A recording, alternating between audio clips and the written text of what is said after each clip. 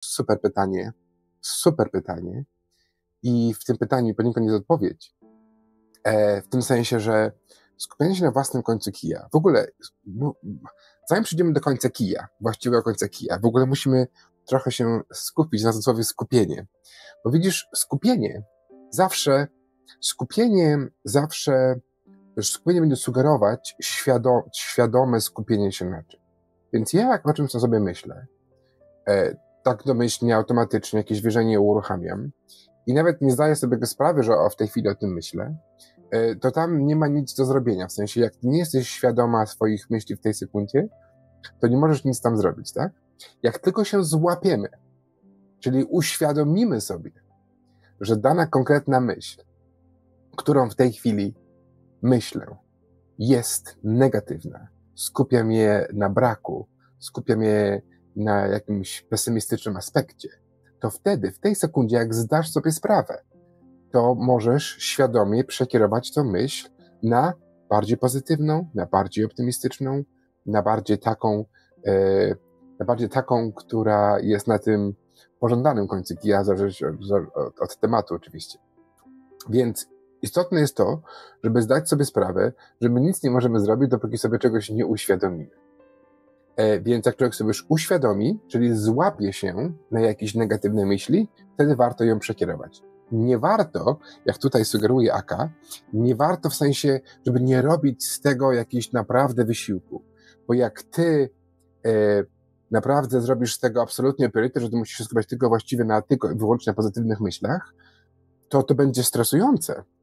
Myślenie, stresujące nie będzie myślenie pozytywne, stresujące będzie w, e, w kółko przyglądanie się swoim myślom e, i łapienie się jakiejś negatywnej, obwinianie, że nie, jest że, nie, że nie jest że jest negatywna, że nie jest pozytywna, to może być stresujące. Więc wyciszenie, generalnie, to jest takie też szerokie słowo, generalnie wyciszenie to jest to coś, co pozwala nam być mniej rozdygotanym, mniej automatycznym, bardziej świadomym.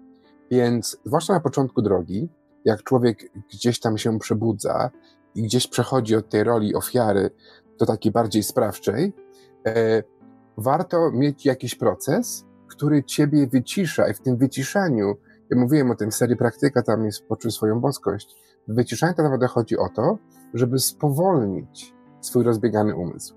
Więc jak mamy jakiś taki umysł, gdzie ta myśl za myślem biegnie, biegnie, biegnie, to wyciszanie go wycisza. Nie ucisza, wycisza. W sensie kompletnie nie myśleć, kompletnie y, wyciszyć, kompletnie nie myśleć, uciszyć swój, to już jest medytacja. Ale wyciszenie jest przed medytacją. Wyciszenie, nie chodzi, żeby być w medytacji, bo naprawdę medytacji nie ma życia. Medytacji nie możesz spędzić y, całego swojego dnia, bo tam niczego nie doświadczysz poza medytacją. A nie bo to tutaj jesteś, żeby tylko być medytacji. Ale w wyciszeniu chodzi o to, żeby ten umysł, rozbiegany umysł trochę spowolnić, mieć na nim większą kontrolę i być bardziej świadomym swoich myśli. Więc jaki by to nie był proces, oczywiście e, dla każdego, to musi być proces, który daje nam przyjemność. Więc ja bym znalazł sobie proces, który daje ci przyjemność i który wycisza cię, krótko mówiąc, sprowadza cię tak do centrum i ty jesteś mniej rozdygotana, mniej reaktywna. E, że jak idziesz pociągiem do Gdańska z kolegą i tobie się wylewa butelka y, iced tea na, na kolana, to ty patrzysz na tą butelkę, jakby nic się nie stało, a twój kolega wyskakuje z krzesła, jakby pociąg się palił.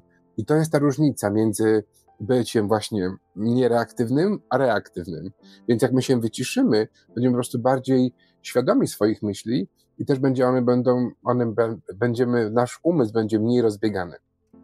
E, natomiast nie robić z tego problemu, jak gdzieś tam ta myśl jest, dlatego że, dlatego że bardzo łatwo też wejść w taką, w taką dynamikę e, bardzo łatwo wejść wysiłek. Jak ty masz naprawdę iść przez życie, e, każdy krok do przodu robić świadomie, to ty daleko nie zajdziesz.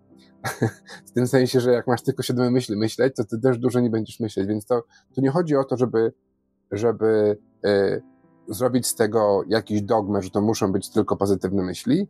Jak to było, człowiek się złapie na negatywnych, to przekierowuje swoją uwagę. Jak się nie złapie, to się nie złapie. Jak, jak człowiek sobie nie zdaje sprawy, że na przykład robi coś z nawyku, to nie może tego nawyku zmienić. Dopiero uświadomienie sobie to jest ten moment, w którym ty możesz świadomie coś zrobić.